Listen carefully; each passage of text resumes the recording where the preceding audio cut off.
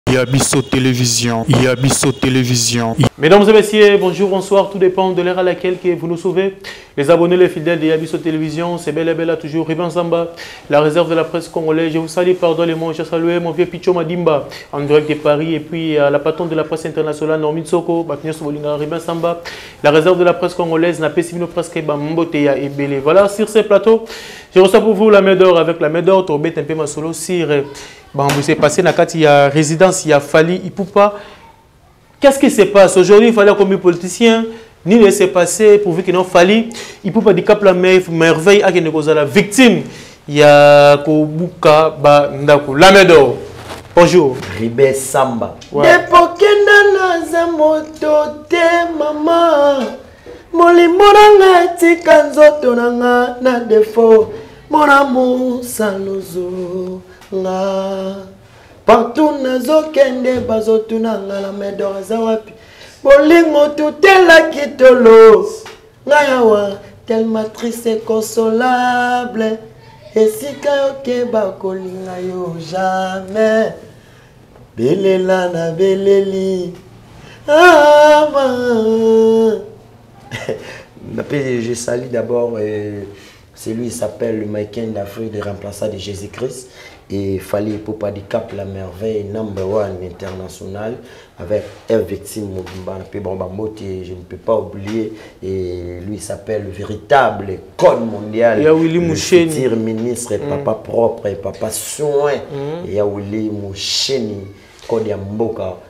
code ya, ya monde mobimba siko ngai alinga mingi mm. obakisela ye ntango obenge le futur ministre ouais. siko ministre yango vike ya willi mouche nasala bato donc kitoko akabelaka biso bajournaliste bato nyonso ouais. il faut apesa ye ministère même ya affaire sociale wana mpenza eza mpe sunga mpenza biso mpenza donc ya bien makasi ya willi mouchene napesi mm. masa na ngai ndirek ya libana mboka il s'appelle cheri tassin mm. e napesi ye mboti nabosani te Temba Okito ya Batemba mm. e, Temba Okito napesi yo mbote bisika ozali mm. e, balobi bana yolo nyonso bana kalamu bayebi kaka ke bawario mm. e, na bana yolo na bachangere mm. ya komi na kalamu baza wana na marche, mm. marche oui, de santé oui, oui, oui. na bakobeta mpe match mm. e, toza wana na bato ba, ba, tu baza bagarçon pindi pindi mm. eh, garçon pindi napesi mbote bisika e, bazali na ba Serge Makila le boss Serge Makila Très bien. Mbote et c'est tout. Merci beaucoup. Voilà, toi entamé émission directement la main d'or. Et tu peux te saluer, puis on a salué,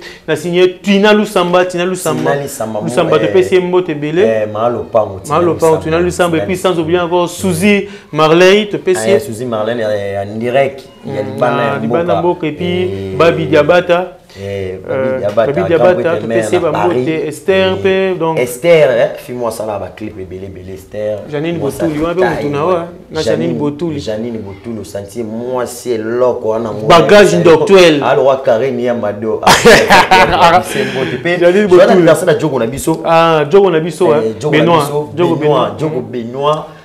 Eh, Djoko Benoît Warrior et puis né à solo na kati ya Brazzaville na pesi yo mbote Benoît petit na ngai moko ya Djoko tala oyo la main d'or général état major et Warrior volontaire la bouche autorisée ya the king Fally pour papier ya ba Warrior nyonso ya monde napesi bato tu balingaka nga kaka bambota trop très bien merci beaucoup namoni veste efandi donc dégât to entame directement émission namoni bato baolanda biso ebele fali ipupa ndako tolobela yango na bao bien ndako ya fali eza victime Bah, il semble que no babengi eza bacombattant il semble naloba yango bien eza bacombattant ya idps nde bato baye kovandalise ndako ya artiste bapanzi qu'est ce qui s'est passé na makambo ya ndako ya fali papa Oh, je pense que ezosala ezosala biso un peu mwa esala biso mawa makasi parce que mm. omoni fali mpo baza député te aza mm. sénateur te mm. azali moto ya politique te apostelaka mpe te aza musicien oyo akosala fierité na kati ya mboka na biso afrique mpe libanda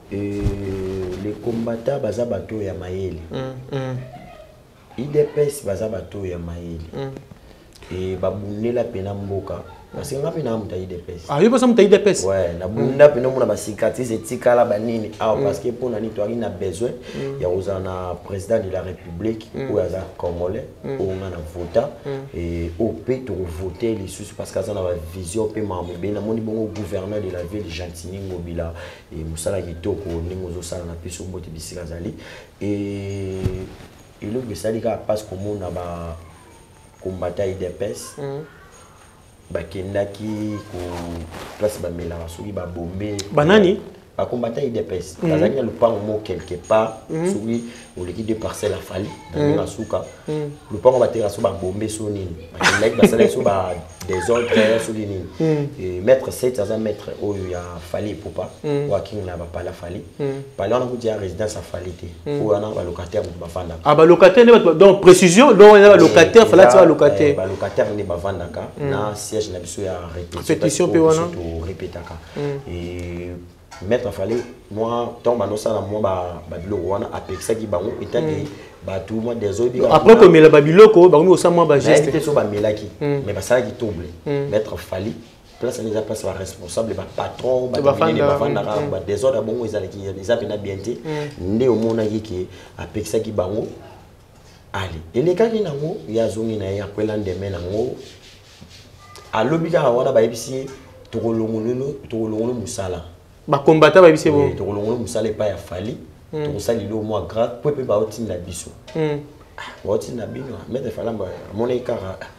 c'est normal lobi ntango baye wana na biso ezalaki mabe ya kosangana te hmm. bamenace maître fali bamenace bato tu bapetisa fali tu bazalaka wana bazokisizokisi hmm. bango hmm. bakota banini baye kotumba bandako nde bomona yo wana ti bamituka ezikaki e, ezosala biso mpasi parce que omoni fali aza représentant ya, ya d'abord azali azali motu oyo azorepresente mboka afrique mpe libanda efali mpo azali musicien oyo mutu nyonso akoki koinvite ye mm.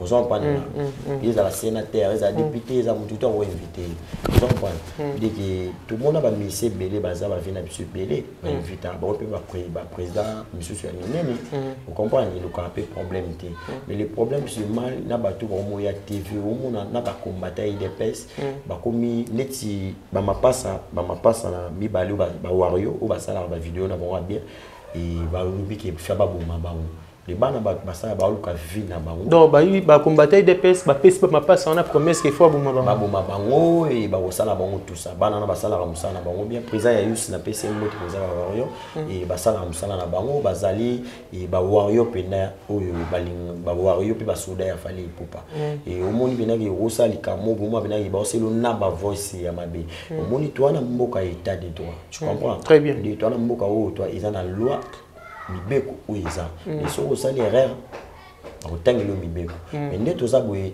neti nga boye naza congolais congolais pene ya congolais ntango nabima libanda nabimaka libanda mpona kodeklare mwa mpasi oyo toa nango tosengi ye président président oyo aye aza na vision mpe na makambo mpe président fachi beton aza président ya udps te mm. udps eza parti lokola baparti tout très bien mais président de la république aza président ya rdc aza président ya congo mobimba ya biso tout mm. de bata udps bazwa ye kaba tie ya bango te mm. biso basali likambo bayebi ke président aza ya bango non mm. parce que ngai na bima libanda nasala ba marche parce que mm. nazala na souci président de la république na biso azala mwana ya congo mm. ti akoma mwana congo esala nga bien mm. aza na bamission na ye ana makambo oyebi eloko mo toyama ma mizike lelo bato bazodeklare bazoloba ke bazobuka e, misala mosusu ezali bango baomona te est ce que oyebi kapela na biso babuki yango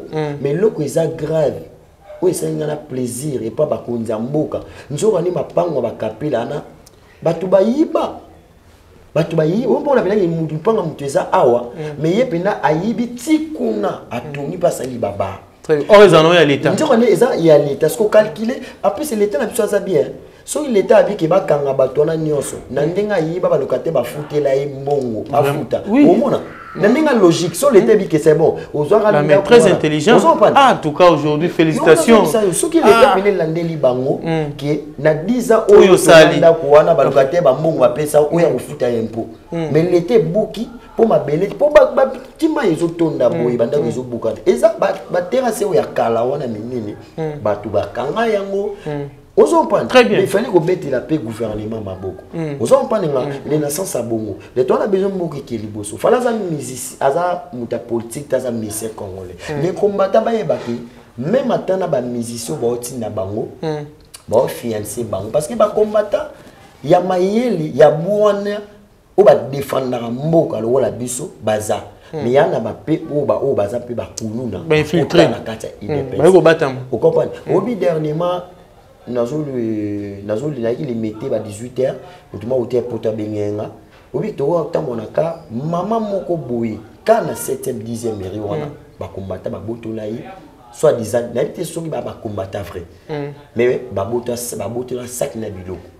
balimeta toyokaka nde babotolaka to babiloko hmm. mais eza bisika oyo bakombate fai babatela population hmm.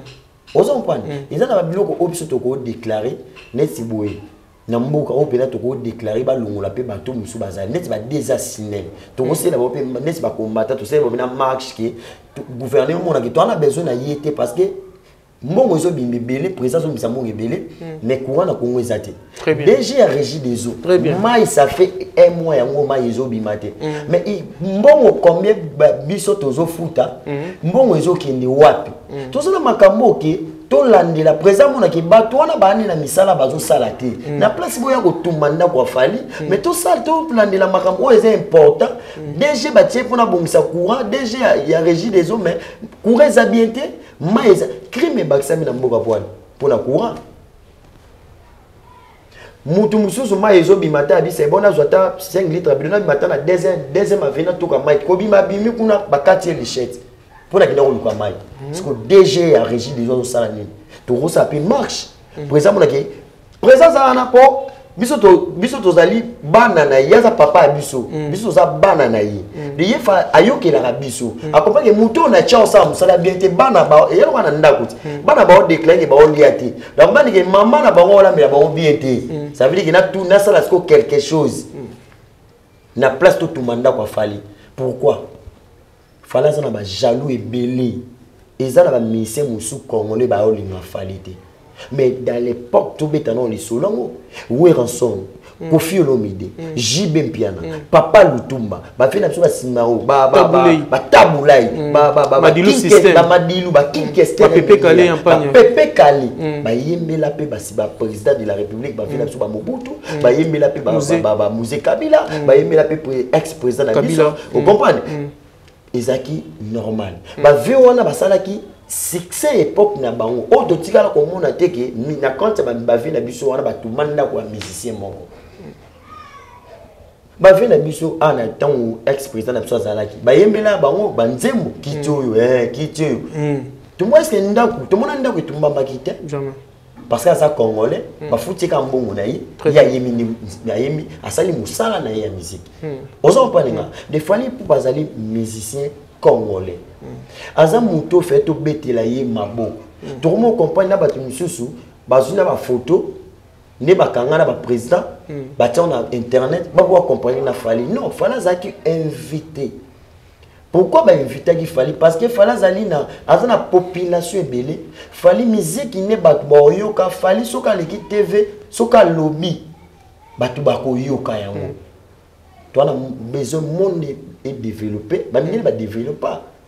biso mpe congo to wana besoin développe mm. na place tozala na bato tozala na bacritique ya kofingana ya kosala badésordre ya kotumba bandako ya bato botumbi ndako afali boganini na nini elo ni bozwi elo nini oyo bino bozwi lelo mutu oyo akokengela maître fali wana aza na bana na ye abokolaka bato abokolaka famille abokolaka bana na ye bolongole mosali epa fali na babiloko quel ranki nazwaki bino nini eloko te ka pamba boye mpe ntango bino mo bakombata boye kotumba ndako yango bokomprendre te ke ndako oyo tootumba eza ya congolais aza musicien aza depute te oyebi baplate biloko mosusu oyo oke biso mpena tokolobela yango totelemela yango surtout bakombata eh, tona bafonctionnaire a baolela ti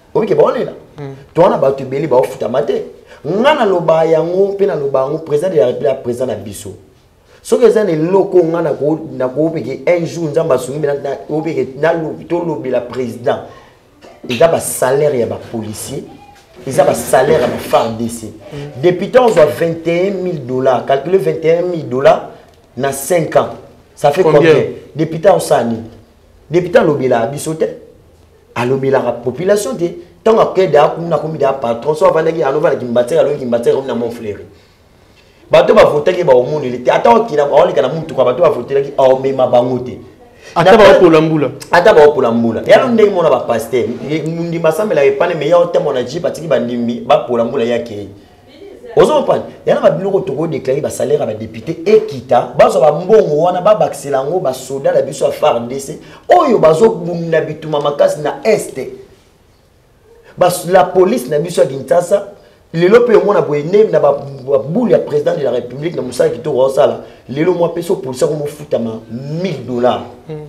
bapolisier bakobotola bato bamoto te bapolisier bakokanga bato bakokotela bato na bavoitire te naosenga na mokonzi ya mboka atya bapolisie na biso ya congo alaise atya fardc na biso alaise bazwaka basalaire na bango soda mpe naozwa 1000 balle aosala mosala mpo baosala mosala kitoko na felicite papa na biso silvane kasongo na mosala kitoko azosala hmm. nzambe azala na yo emoni biso towana biloko eza ya oyo tokoki koloba mpo tosala bamarche yango wana na place toya kotumba ndako ya artiste musicien lelo bapaye ebele ya afrike ebele esali bango mpasi guinée sénégal angola même na brazzaville et puis namoni baartiste mpe ya biso ya mboka baza d'accord nango te namoni na groupe ya maison mère bapublie ne touche pas mon artiste voyant même eh, se leyo alobi tokoki jamais kosepela makambo lelo oye apa fali mosusu lobi ekozape mpa na ngai alobi mpa moto mosusu en tout cas se leyo mpe aza contre bamisie tout namoni baza eh, ini baza contre yango nayebi te ouais, ezali eza eloko napesi le roi de la forêt eh, mbote mm. napesi ye mbote dine manzaka nzaka mane lize bokota omoni toza bamusicien omoni toyaka na biso tv boye mm. ata tofingani eza nango makambo ya miziki mm. parce que jamais na oyo tokoki kokutana na nzela tosimana na nzoto tobunda te mm. ngai nazali nalobelaka fali pupe ntake artiste oyo ya ngai ntake fanatique ne ntake peti na ye mm. ye mpe oye mpe oza na ntake leader na yo mm. eza nango kaka makambo ya tv nde tolobelaka topesela tv elengi mosala na biso ekenda mpo jamais nde naza boye mise kani akotinda nga prison non po ayebi ke nga na defendaka ka fali nakodefendre ye te mpo naza fanatike ya fali mm. petit ya fali na defendaka fali mm. ye mpe petit na ye akodefendre fali te mm. esuka na oka na télévision ozo kopane nga de fali aza musicien congolais aza musicien politique te biso nyonso bakombata baa bacongolais bakombata baa bata mayele bata idps baa bata mayele mais sikoyo eza na bato oyo ngai nayebi biso verité eza na bakuluna oyo les personnes ya ndambo baana mombele bakingabwa banini baoyo bazalaki bakuluna président atalaki ke non botika makambo wana batika mpe kuluna mm. bazwa bakarte président opesa mitala président de la république azwi bagene mm. mpe bazwa bakarte oyo baozwa quelque chose ya lisungi mm. mais il fallait koraisonne vie mais na nsima na yango ya lokola bato baotinda bango basala sikoyo bacrime babiloko ya mabe mpo koma président ekela ndenge ya mabe parce que ebele baza na sete lekulu la plupart mosusu baza na baza bakuluna neti bazo bapesa bango place babela mituka babenga yango banini na bare de bis bare de bis wana mm. bapesa bango mpo kozwaka mbongo mais koma baparking wana mais koma siko place oyo bakoma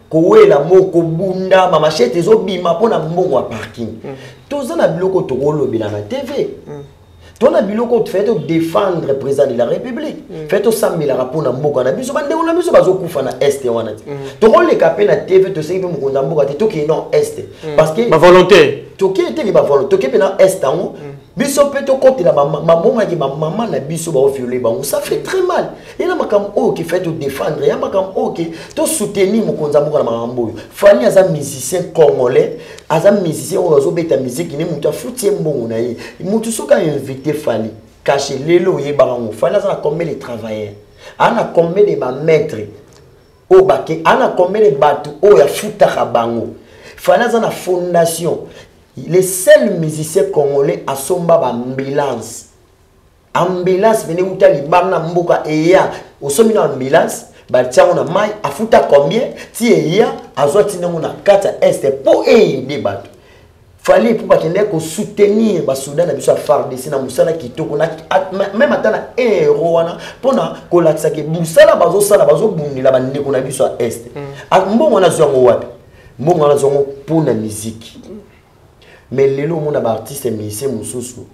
dernièrement nayoki bavoice mosusu esali nga mpasi bamusicien mpenza ko abie azwi yalakisaka danger oyo oh, bamusicien mpenza leader oh, leader mm. voice ebimi me nakotya yango te parce que mm. babilo mosusu otya yango olingi opesa su opesa su eh, valeur na gaz mpo bato nde baya su korépondre yo mpo ya parce que nga naka moto bakanda baveste koolonga mpe motakala mpe etikali mpo na fali naloba yango mm.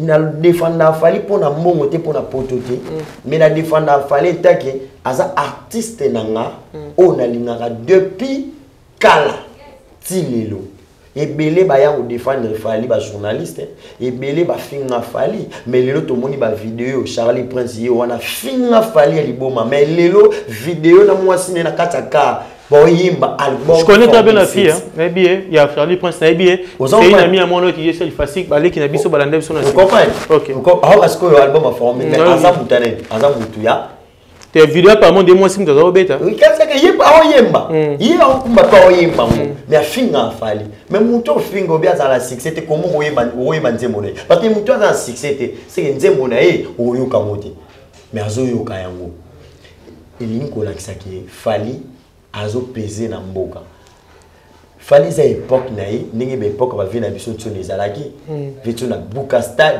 vetu nasala baskandale bapapa cheri basala badanger mais eza nango kaka baepoque ya bavie na biso basalaki hmm. nzambe aye ocomprendre ke non eza na musicien moko hmm. efai na bimisa sikoyo na minute oyo nde nalalaki nzambe atindela ye nga bible nabosana na pale bon tinango bible eh, bible vene eyaki nasengi na bato batanga ba wana eza sikoyo ba même ata bapaster bayebi bayebi baverse wana ti mm. wana so batangi na litre na litre 3000 a 19 fois 2 baokomprendre litre 3000 a 19 fois 2 esunde nino litre 3000 a 19 fois 2 nzambe alobi boye ke fali mon fils fali ipopa soit à l'aise parce que moi-même nga moko nayebi ke bajaloux baza kobungisa yo soki toyesu na matie 4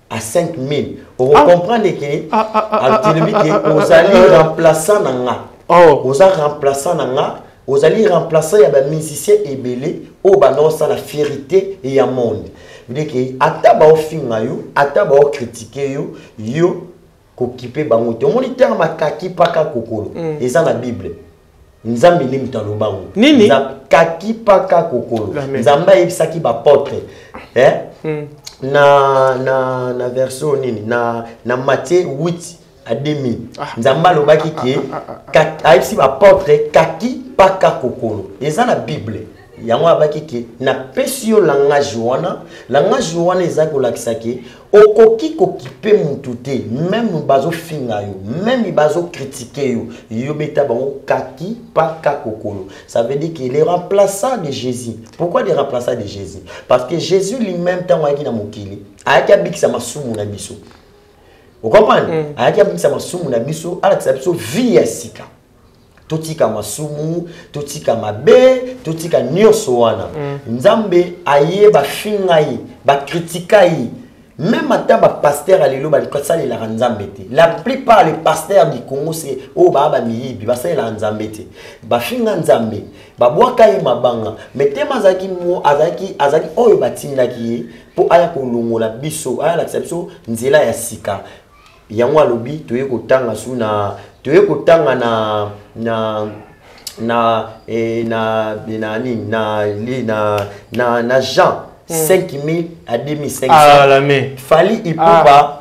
ah. azali mutu oyo oyo Nzamba bombaki Très bien, c'est suye. Abombaki ata na oyo oh, Nzambe mm. abombaki. Mm. Nzambe abombaki parce que ayebaki ke ekozala na bato ba kosala ferita mboka.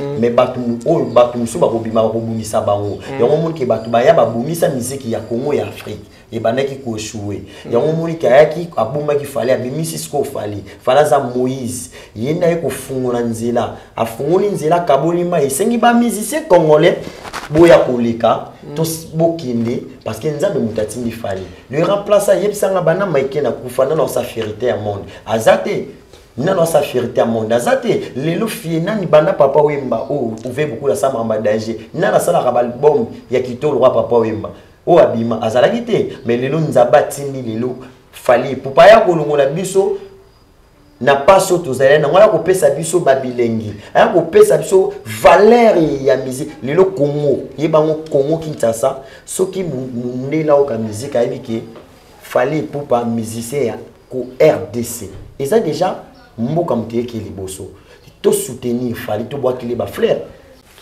Voilà, merci beaucoup la main d'or na sentir lelo vraiment euh, on marqué nga je pense même que na batu ba Hollande biso na banda ba sentir vraiment que non la main d'or vraiment une tête d'or oh, vraiment que réfléchissa aussi na kambu ya makambu ya bien. Voilà.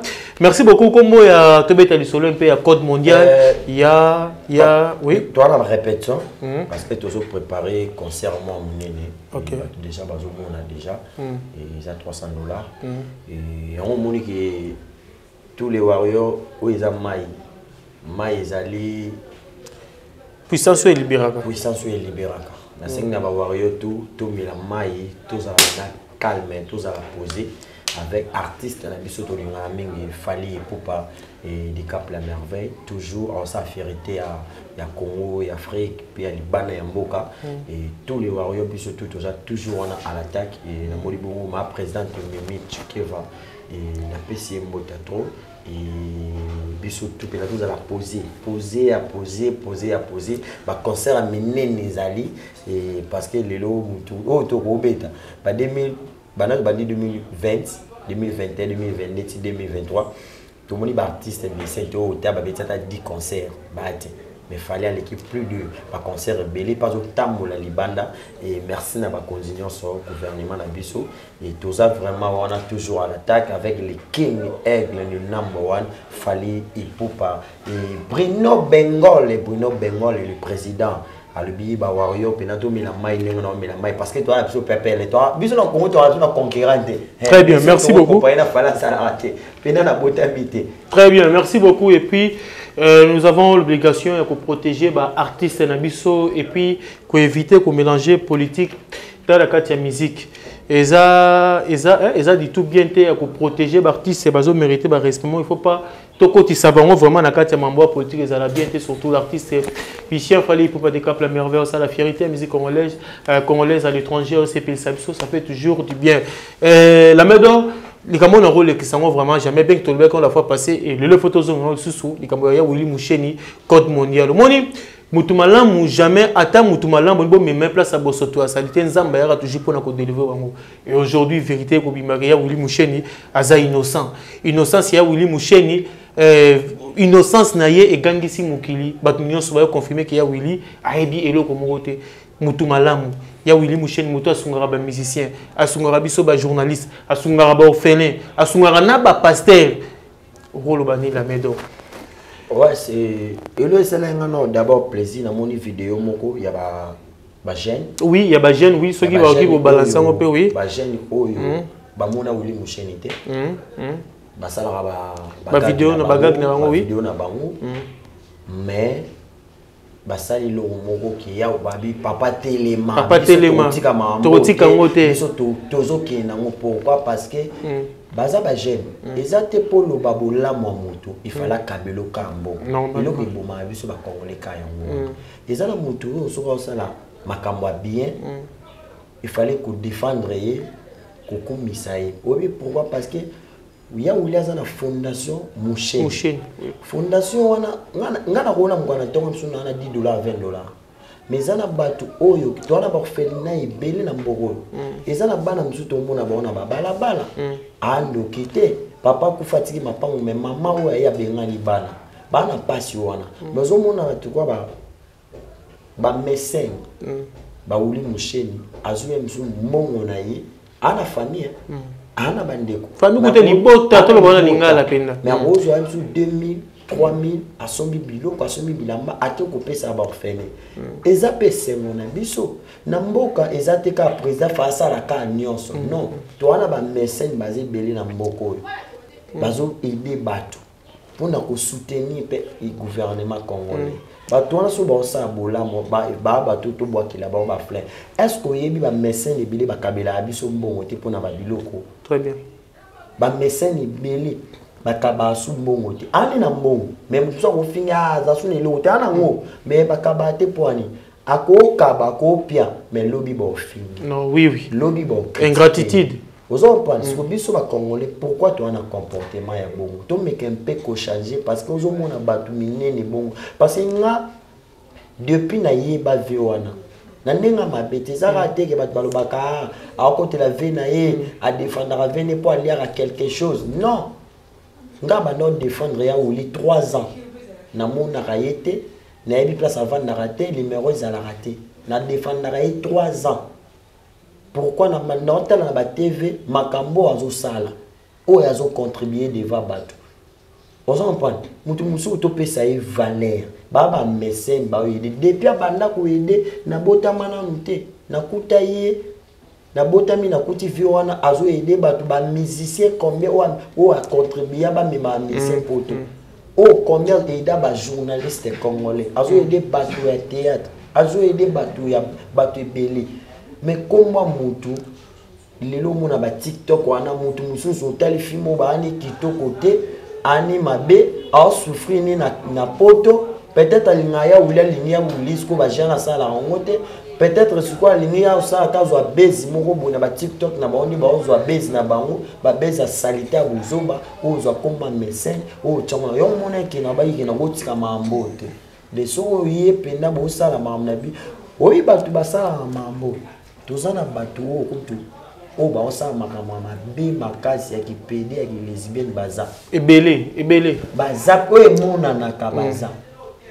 yo bando yeba wili yo musheni bando yeba ti lelo puis na osenga baba na senga photo ya wili musheni na eh, bana ke eh. ya wili aza na bana aza responsable parent ya famille donc moi si bana na kati ya ndako baba na se ba photo ya wili musheni circulara pena pa mona ya wili mutu ngo donc ba ventile te ozo mm, pandi ya mm, blague te mm. mutu fait to bwa kila ye ba fleur ba fleur bango moko nde baza na bayebi ba vrai pede na ba vrai lesbienne oki bango moko na bato baosala bavideo wana ya baemission na bango moko bayebi bango ozo comprendre nga na bato baotinda bango baya kotanga komba ya wili bato wana nde bavrai mpenza bato basalaka makambo ya mabe okomprendre mais bato baovandelaka akoma motu koma moto bacreaka babezi moko beta ata sens te na place ko bosalaka bavideo mm. ya kofinga bamesene mm. bosala nde bavideo ya kolobama ndenge makambo ezoleka na kati ya mboka mponi bokosala teke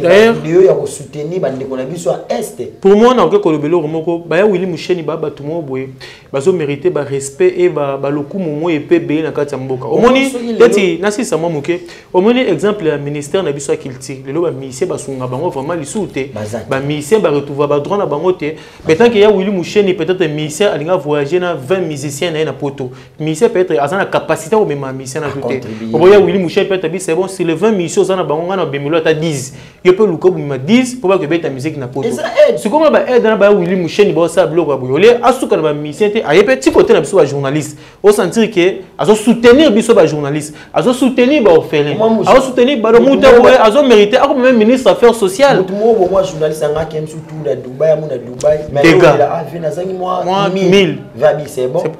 mwa zwa oyo me moto yango lobi akobaluka kaka akomi ndeti bato mwa bondie ingratitude na mokili eza bien te awa twana na ndenge ya mabe te tozosola musique congo soki lelo banigeria baoleka peut-être bamusicien congolais mosusu ebele na mbongo ebele na mbongo lelo so baoleka eza mpo ani parce que gouvernement hmm. azotya bango poa mpo na nini excuse mpo na nini biso bacongolais soka bamisie bavoyage bake poto mundele abangaka azobanga hmm. azobanga mpo ayebi ke bakokima mpo bazosouffrir hmm. mais sikoyo tozosenga mokonzi ya mboka na besoin bato oyo ya mayele hmm. oyo baza na ke lelo so misie epaki na 100 personnes bamboka na babanga te mboka na esenga sikoyo batya baministre oyo aye koluka mbongo te na mm. gouvernement mm. ministre oyo aza na souci mpe ya bamusicien miziki ya bamusicien ezobetabeta a ah, bafutama wa combien basala zela basala nini moko awa soki sokoda wana mm. sokoda ntina sokoda wana eza nini nzoka nde sokoda bazoyiba nde bamusicien na biso oyebi bamusicien oyo bakufa bato na biso bakotokufa yo mona dia mwasa musicien nini sokoda ekopesa ata basombela ata mwasa musicien na lupango très bien donc tokosenga kino oui, oui. sokoda mm. babasa bamisi ebele batikali na bana a ah, yo mona sokoda ebimisa esomi na bango mapango mbe mbo te tosenga neti biso tosenga bato dia baweli mosheni aza dia na mapango na ye aza dia na bamituka riche aza dia patron ayinaka bato tosenga na gouvernement congolais ya weli mosheni batya ye mpena ministre des affaires sociales sociales ou ministre ya culture ou ministre ya culture ekosunga lisusu bacongolais mm.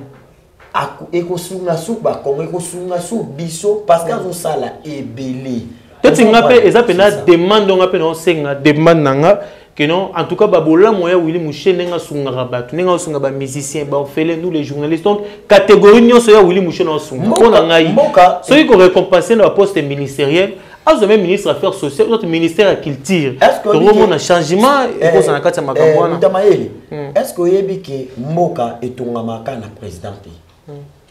parce que congo ereg basalaka surtout baparti oyo ebimi sika mm. bakoma koleka bango na tv première fois namonaka na mboka na biso ya koleka tv kokritike kaka président président azobongisa mboka te président osa te mboka congo mpo bonga eyaka 5 te ifeyese na président ya mayele oyo aza bwania lokwa mm. président faci beton mm. sikoyo mboka mpo ebonga esengaka mpe baaccompagne mboka mm. oyo baa bamesene ata aza na kati ya gouvernement te mm. mais mbonga mbongo na ye mm. ezocontribue na gouvernement mpo eede population très bien tu as compris babato baza bayauli moshengi baza baeric mandala bazali mm. surtout abed ashu il fait mm. un boulot mwa mwana moko boye ana mayele ana bwania me moto akoyede ye ta dernièrement natali video bana oyo batongaka bandako wana mm. bana oyo basalaka babiloko moko na bana oyo basekisaka na bana oyo basalaka babiloko ya kosote wana baza bato oyo kelelo baide bango basungola bango mpe baekole oyo ke toya mpe kotala estce oyebi ke tozala su na place oyo tokenda kotala bafilme te baplace surtout ya kosekisa eza très bien merci beaucoup la maison nous sommes arrivé à la fin les abonnés le fidèle de la télévision deux ou trois personnes deux trois personnes seulement to clôturer euh, napesikaka mboti na ma denise mm -hmm. euh, mama oyo ya motema malamu azosoutenir mpena population mm -hmm. na baevre napesi merci na président de la république faci beton et toujours tosambela mpo na yo papa gouvernement na biso mobimba mm -hmm. gouverneur de la ville gentini ngobila baministre surtout ministre na biso ya média patrick, mm -hmm. patrick muyaya félicitation mpe mm -hmm. la police na biso mosala malamu mpe napesi mbote na le véritable code mondial ya oli mosheni napesi ye mbote e napesi mbote epai ya e, moto akotisa bijou na kati ya afrique fede lokwa kumu na biso bamongo kumu ya bamongo guy basket beau retour au pays et mokonzi ya deux continent maître lou dems le paris maître lou dems napesi yo bambote napesi bato tu oyo balingaka nga bambote mes condoléances na baartiste comédien très bien toassiste bango toassiste bango wana mpona kokabaa mawa parce que tosalaka euh. eloko ndenge moko 7e bagar karine yamado mille esprit et oza na pasi courage zala fort mpo eza saisai mpo eza ladi esobe bozala mpena fort merci bocontinue na losambo mpe na baprière mpe boyoka bamessage ya bapaster mpe baprophète oyo bazoyoka so prophète asali message mpo na nkombo artiste comédien luka prophète wana mpo na merci beaucoup la maison nous sommes arrivé à la fin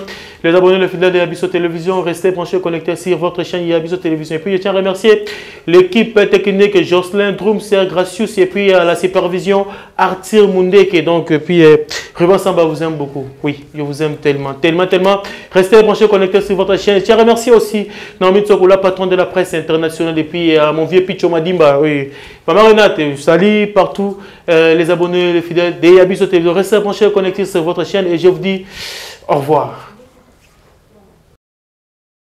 à télévision